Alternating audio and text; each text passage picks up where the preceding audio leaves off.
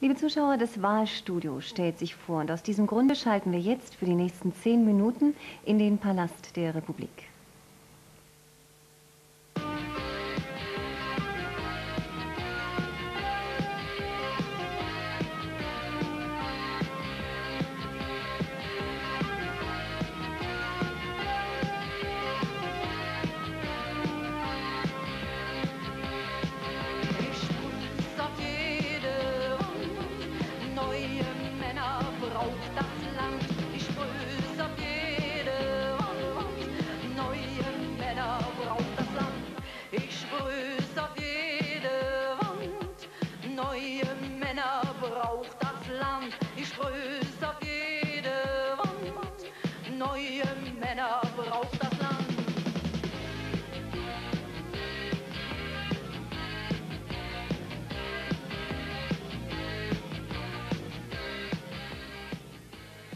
Abend, liebe Zuschauer. Ich begrüße Sie zum ersten Mal aus dem Wahlstudio des Deutschen Fernsehfunks. Wir melden uns hier aus dem Palast der Republik und der wird mindestens bis morgen von den Medien besetzt bleiben.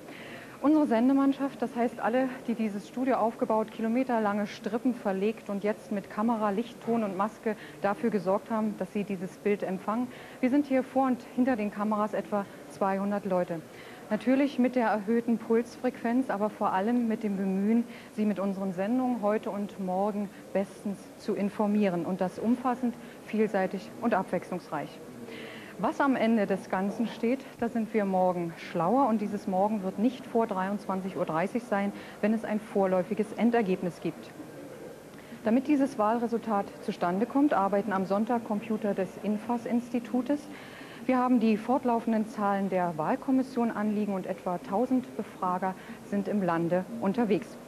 Genaue Auskunft dazu jetzt von meinem Kollegen Helmut Hartung, der für Sie auch morgen die Wahlergebnisse präsentieren wird. Guten Abend. Ja, guten Abend. Ja, die Sache mit den genauen Ergebnissen, das ist so eine Sache, dafür ist unsere Zeit viel zu kurz. Ich will bloß mal zu einer Sache kommen, die morgen uns natürlich beschäftigen wird. Das ist die Frage der Hochrechnung. Ein Begriff, der nun in den letzten Tagen die Runde schon gemacht hat. Wir wollen natürlich morgen eine Hochrechnung präsentieren. Das heißt, wir wollen bereits zu einem relativ frühen Zeitpunkt äh, das vorläufige Endergebnis sozusagen schon vorwegnehmen und wir rechnen damit, dass diese Hochrechnung so gegen 19.30 Uhr, 19.45 Uhr von uns schon verkündet werden kann. Und ich will eigentlich jetzt Ihnen mal sagen, wie diese Hochrechnung sozusagen zustande kommt, aus welchen Stimmbezirken wir dabei schöpfen können. Und wir haben zu diesem Zwecke eine Grafik vorbereitet, die ich Ihnen jetzt mal zeigen möchte. Also Sie sehen da nochmal, dass wir insgesamt 12,3 Millionen Wahlberechtigte haben und es in der DDR über 20.000 Wahllokale gibt. Von diesen 20.000 Wahllokalen haben wir nun einen Teil für unsere Hochrechnung aus gewählt. Das ist die sogenannte Stichprobe. Das heißt, wir sind morgen in 266 Wahllokalen vertreten und diese Hochrechnung entspricht dann sozusagen der Abstimmung von 153.000 Leuten. Das heißt, das sind die 153.000 Wähler sind die Basis für die Hochrechnung. Also sie sind ein verkleinerter Ausschnitt aus dem großen Kuchen der 12 Millionen Wähler. Und diese Information über diese Wahllokale laufen dann hier am Abend nach 18 Uhr im Palast der Republik auf, gehen in den Computer, werden sozusagen addiert und bilden dann die Basis für die Hochrechnung. Wir sehen hier 266 Wahllokale. Sind die auf das ganze Land verteilt und wie sind sie verteilt? Naja, wir haben uns natürlich bemüht, nach demoskopischen Aspekten diese äh, Stimmbezirke im ganzen Land auszuwählen. Dazu gibt es auch wieder eine Karte, wo wir diese Verteilung mal deutlich machen wollen. Mal sehen, ja, die Regie zeigt uns die Karte. Es ist vielleicht nicht ganz so deutlich zu erkennen, aber man sieht die kleinen Punkte hier auf dieser schönen Karte.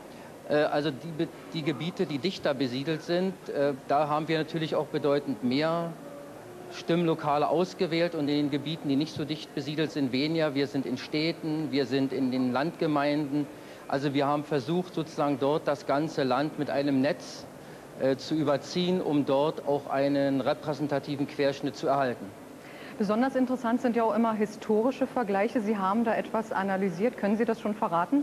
Naja, ich will es mal andeuten. Es ist natürlich nicht so einfach mit historischen Vergleichen. Wir waren in Archiven, wir haben alte Unterlagen gewälzt und wir haben zum Beispiel mal uns angesehen, wie dann die letzten freien Wahlen 1946 ausgesehen haben. Auch dort haben wir eine Karte, die wir mal zeigen wollen.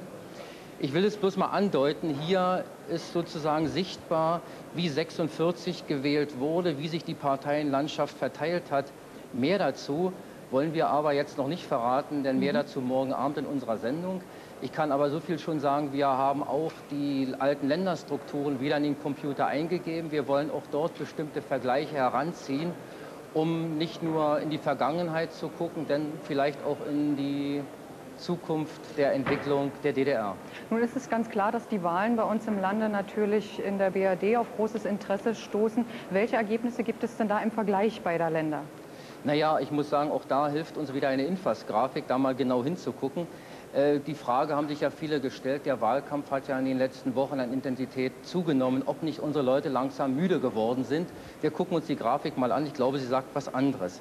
Also wir haben hier den Vergleich gleich mit der Bundesrepublik.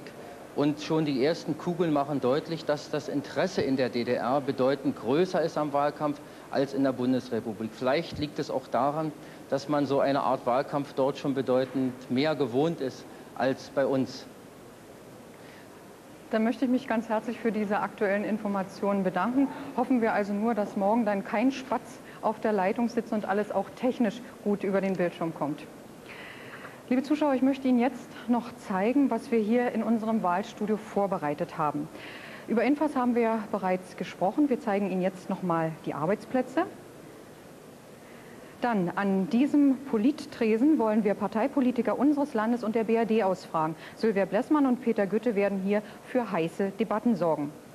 Nachrichten aus aller Welt werden von Renate Krawlitzki gesprochen und seinen politischen Kommentar zu den Ergebnissen und zu internationalen Reaktionen gibt Bert Sprafke ab. Harald Händel wird für uns im Foyer sein und sich mit Mikrofon und Kamera in das Eingangsgedränge stürzen. Und eine Etage über uns gibt es dann noch eine Prominentenbar. Sie wird Anlauf und Treffpunkt für Künstler, Sportler, ehemalige Politiker und einige Überraschungsgäste sein.